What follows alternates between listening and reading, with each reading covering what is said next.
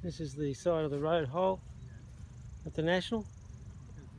This bunker is uh, in place of the road at St Andrews.